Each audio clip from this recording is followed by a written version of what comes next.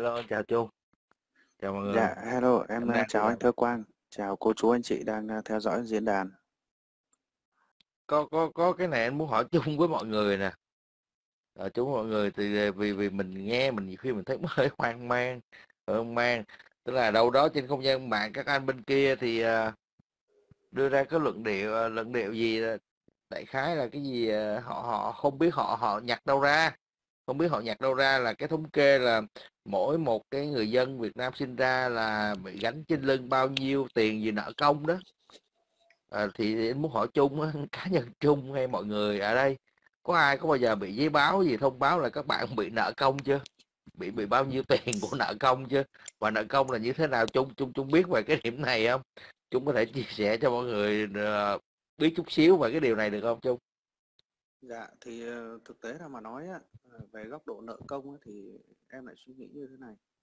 Thứ nhất là bản thân em thì cũng chưa có cơ cơ quan nào người ta gửi giấy cho em là phải gánh nợ thông công của báo chính phủ cả.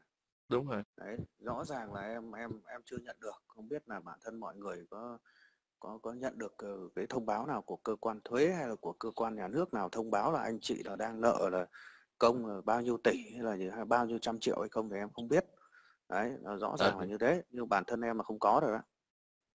Còn nợ công hay là chúng ta còn ờ, còn còn nói là nợ gọi là nợ của chính phủ đó thì là một cái phần mà thuộc ờ, là nợ chính phủ hay là một phần là thuộc là nợ công hoặc là nợ quốc gia là tổng giá trị ừ. các cái khoản tiền mà chính phủ ờ, thuộc ờ, mọi cấp từ trung ương đến địa phương đi vay Ừ. Đi vay mà cái khoản này đi vay là nhằm là để Ờ, tài trợ cho các cái khoản ờ, thâm hụt ngân sách hoặc là các cái khoản khác nhưng mà chủ yếu là phát triển về cơ sở hạ tầng. Ví dụ chúng ta đi vay các cái nguồn vốn đúng không ạ? Ví dụ vốn ODA chẳng hạn hoặc là vay của quỹ tiền tệ quốc tế IMF chẳng hạn thì dĩ nhiên vay không phải là người ta cứ chúng ta để đơn là người ta cho vay.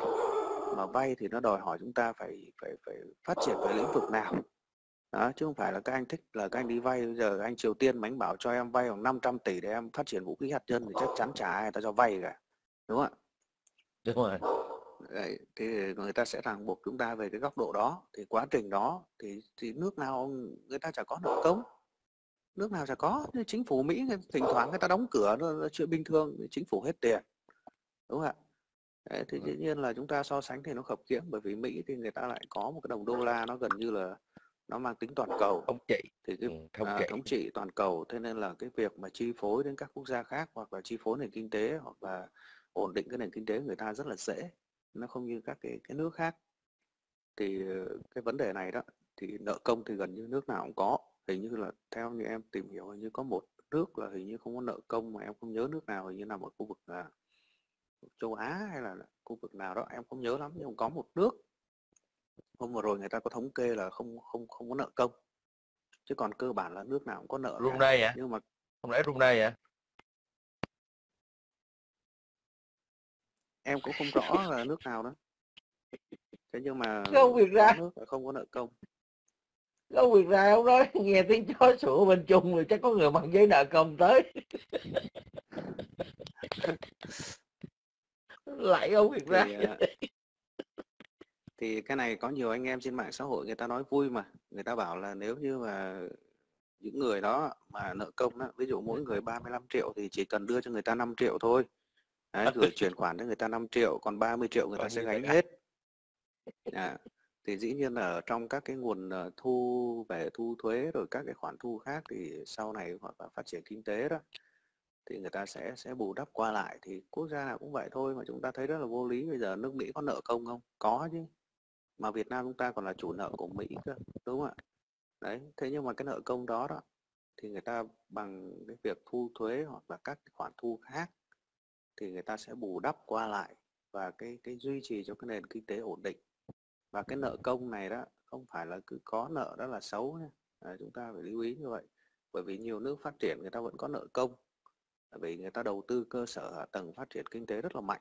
Thế nên là người ta đầu tư mạnh thì người ta nợ thôi chứ không có gì mà khó khăn cả nhưng mà nợ quá mà như Sri Lanka thì là vỡ nợ đúng không ạ? Có nghĩa là anh không có đủ cái cái nguồn thu để anh trả bù đắp lại các khoản vay mà các anh càng ngày càng vay chồng chất thì nó sẽ dẫn đến là là vỡ nợ. Đấy, vỡ nợ. Thì cái điều này chúng ta em thì lại không không không không nghiên cứu nhiều về vấn đề kinh tế thế nên là em chỉ nắm sơ sơ như vậy. Chứ còn à, cũng à, như một số anh chị em khác thôi đó là nếu như mà anh nào mà cảm thấy mà phải gánh nợ đó thì anh cứ thống kê đi ví dụ nợ 40 triệu thì các anh cứ đưa cho tôi 10 triệu để tôi đưa số tài khoản cho à, cái này không phải là donate nhá mà tôi gánh nợ thay ừ. cho các anh còn 30 triệu ừ. còn lại tôi chịu ờ, trên mạng xã hội rất nhiều anh em người ta đưa ra cái thông tin như vậy thế thì cũng chả có anh nào dám mà đứng ra mà chuyển tiền xong rồi bảo là đấy nhá tôi chuyển tiền cho ông Thơ Quang hay là ông Trung rồi còn khoản nợ bao nhiêu các ông tự trả đúng không ạ để chúng ta thấy rất là rõ và cái này là cái bài này là cái bài của những cái thành phần mà à, luôn là đưa ra cái quan điểm để mà mà hạ thấp uy tín của nhà nước thôi chứ không có gì mà, mà hoang mang cái đúng bài không? này rất là Làm lâu cho rồi đúng rồi làm cho người dân hoang mang đúng không? làm cho người dân là hoang mang hoảng loạn là tâm lý hoảng loạn là tại sao tự dưng mình lại gánh nợ như thế Ừ. đấy nó rất rõ ràng vì cái điều này nó nó nó nó nó là một trong những cái chiêu bài một thủ đoạn mà các cái thành phần chống đối người ta thường đưa ra Mà mà Đó. mà chung có khi nào chính bản thân họ là suy bụng ta ra bụng người không? Có nghĩa rằng à, nếu mà theo chung nói thì anh có thể hiểu nôm na thế này. À, tức là ví dụ như nước Mỹ đang có nợ công đi thì thì à, tức là họ phải gánh phải gánh là gì bằng hình thức là thí dụ như họ làm bao nhiêu thì họ sẽ bị à, ờ, đóng vào à, trích ra cái phần trăm thuế đúng không? Giống như vừa rồi đó thì mọi người cũng biết là cái này để uh, xác nhận với việc ra em biết đúng không ạ? Vừa rồi hình như tổng thống ờ, Biden ra một cái cái cái sắc lệnh gì đó là tăng tăng tăng cái ờ, cái mức đóng thuế đúng không ạ? Và cái đó là được, được như có báo đài có đưa tin là đó là một cái lịch sử cao nhất trong bao nhiêu năm của nước Mỹ đúng không? Tức là cái mức mức thuế đó người dân phải đóng á. Thì thì có khi nào đây là vấn đề mà chính là bản thân họ đã suy bụng ta ra một người không chung? Thì cũng rõ ràng thôi thì anh thấy là ví dụ như chúng ta theo dõi sẽ biết là vào khoảng tháng 12 năm 2021 đó, thì nước Mỹ người ta cũng đã thông qua thượng hạ viện người ta đã thông qua và trình cái dự luật à, lên tổng thống Joe Biden để ký để nâng cái mức à, trần nợ công thêm 2.500 tỷ đô la có nghĩa là lên mức Ừ. 31.400 tỷ đô la ừ. đó thì cái mức trần nợ công này là gì cái mức trần này nó giống như kiểu là một cái mức mà chúng ta cứ hỏi là lằn ranh đỏ. Có nghĩa là trong cái, À. cái, cái, khoản tính toán người ta cho phép người ta cho phép có thể là sử dụng các cái nguồn thu để người ta bù đắp lại được thì người ta nâng cái mức trần lên. Và nâng cái mức trần càng cao đó thì cái nguy cơ nó càng lớn. Ờ, dĩ nhiên Mỹ là chúng ta không nói những các nước nhỏ đó. Chứ còn là nếu mà theo như mà đầu vào tháng 2 năm 2022 thì người ta thống kê theo cái bộ tài chính Mỹ thì người ta tính được là cái tổng nợ công của nước Mỹ vượt quá mức 30.000 tỷ đô la. Đặc biệt là do ảnh hưởng Covid-19 cho nên là ờ, ông John Biden ông đã ký cái dự luật để tăng lên để tăng cái cái cái, cái mức nợ lên.